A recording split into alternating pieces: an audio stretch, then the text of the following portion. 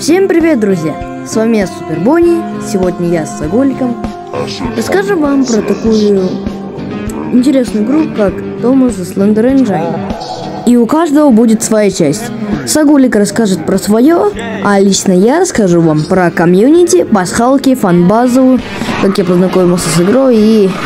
О господи, что он сделал с телепузиками. Если что, говорю про создателя игры. Что начну с комьюнити.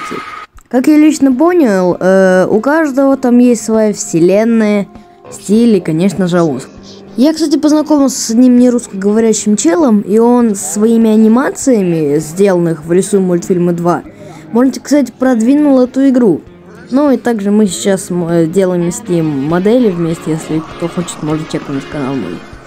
И да, вот вам, кстати, пример. э, Сейчас вы видите, должно видеть на экране персонажа, которого я сделал с этим челиком. Его фаза, ну и... Короче, прочитайте. Ладно, вернемся к делу. Фандом очень любит скрещивать жанр СТ, которые для них, ну, типа, так себе. Ведь есть Томас Лендер, который, ну уж, в миллиарды, сексиллиарды раз не клон э, СТ. И да, как факт, если ты скажешь что-то про Томаса Слендера у них, начнется просто сразу О, он оскорбляет игру! Бан, бан, он плохой! Но также они уже затронули такие э, мультсериалы, как Телепузики, неудивительно, которые позже станут террапузиками. И даже по Тинки Ляля появятся в Томасе Слендере 3D Edition и вот эти монстры. Ужас. Также они затронули мультсериал Бекки и Эрдиганс. Вообще хз что это, но посмотрел такой этот снова трешачок для детей. Томаса, ну тут объяснить, думаю, не стоит. И приключения Чека.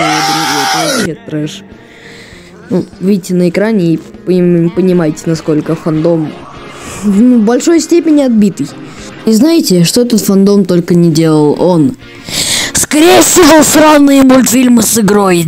И есть такая девочка по имени Мучи, которая сделала этот трэш. Для нее, короче, все паровозики там это животное. Еще она сделала перфи траншем. Что произошло? После этого трэша очень плохо, потому что... Come on, это паровозики. Паровозики. Что они с ними делают? Что вы понимали? Даже сам создатель игры официальный, он вместо того, чтобы сделать женским персонажем нормальные модельки, он просто э, брал какие-то R34 модельки с boobs ами в хоррор-игре про паровозики. Хоррор-игра по паровозике, в которой женские персонажи с бутсами. Это как понимать, чел? Ну что ж, время рассказать про пасхалки. Э, В принципе, в этой игре, ну, пасхалок не особо много, но есть одна пасхалка, которая прям запоминается. Это персонаж, которого зовут Мистер Тверкс. Но, думаю, его имя говорит уже само за себя. Вы видите у себя на экране, а также его можно встретить в таких играх, как Thomas Thunder Engine 2D, э, ну, просто 2D Collection, также игра Thomas Slender Engine 3D Edition, а именно на, на, в игре Thomas Engine 2D я хз вообще где его можно встретить, но вот в 3D версии заходите на карту с Гордоном э, и идете там к какому-то месту, и там, короче, на холме будет этот додик люто флексить. А сейчас я еще включил у него саундтрек, который он, собственно, и делает.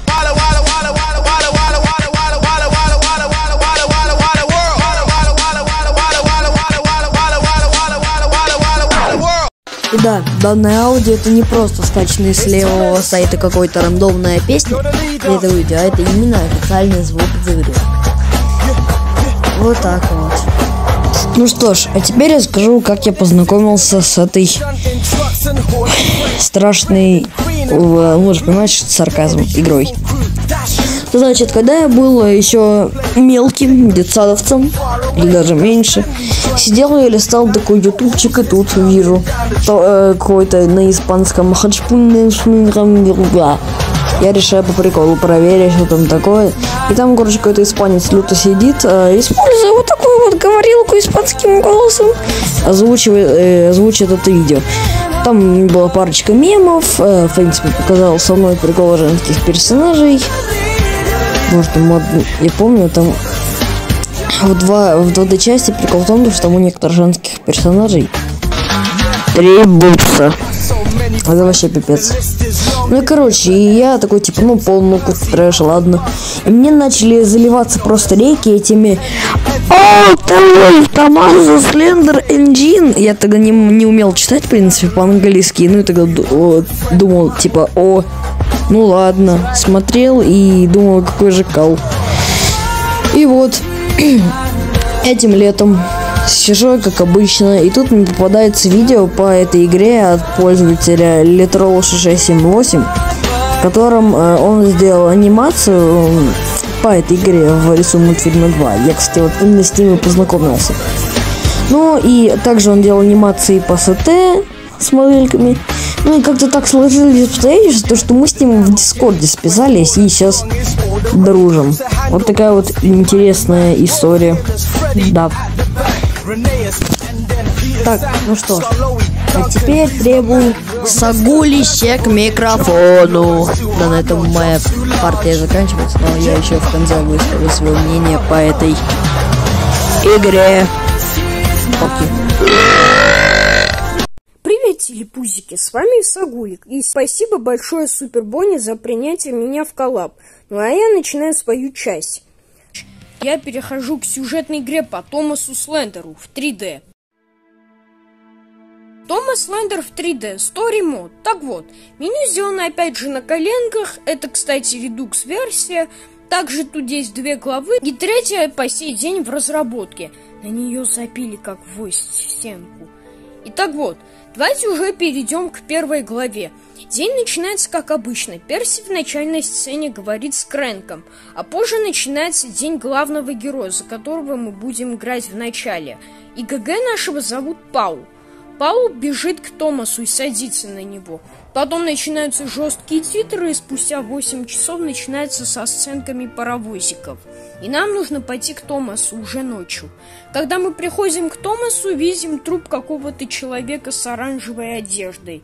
Его зовут Вали. И сам Томас уже стал зараженным, а сзади Томаса Генри стоит. А позже Паула, видимо, убивает Томас. Либо неизвестно, что с ним становится пока что. Позже мы видим сценку, как мать Паула и уже главный герой, за которого мы будем играть и которого мы будем назвать как хотим, смотрят новости, где показывается, что где-то у рельса лежит чей-то труп. ГГ отправляется туда и видит труп Вали. Главный герой шокирован увиденным и уходит.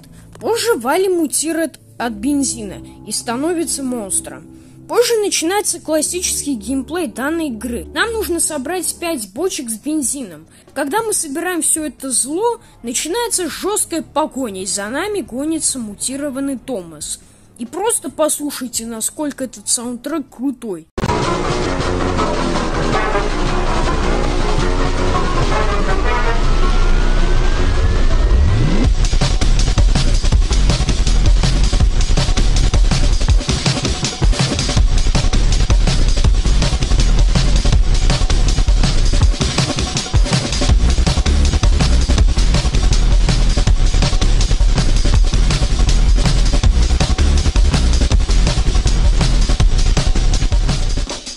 Честно, он понравился даже.